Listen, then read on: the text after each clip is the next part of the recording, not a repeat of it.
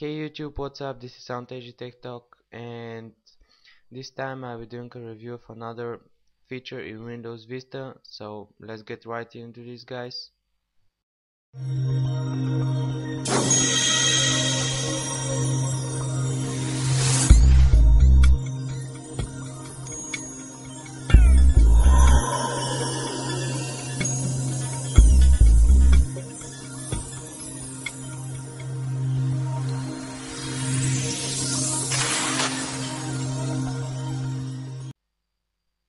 So this time guys I'll be showing the Windows Media Center.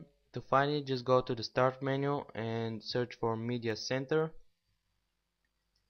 and it will load with a nice intro. So first off there's a tab for the TV and movies where you can uh, watch all your recorded TVs, you can play DVDs or you can set up a TV then of course there's a music library with your uh, with all your music tracks and you can listen to radio or search for um, more music.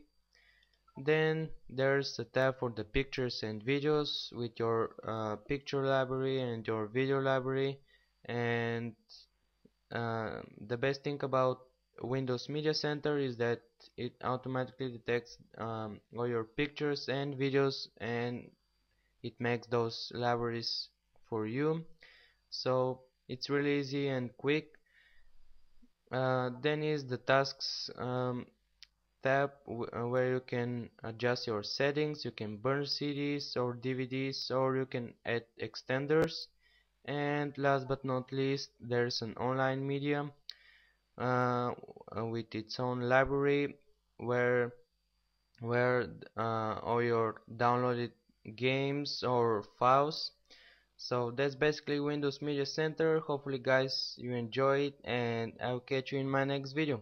Peace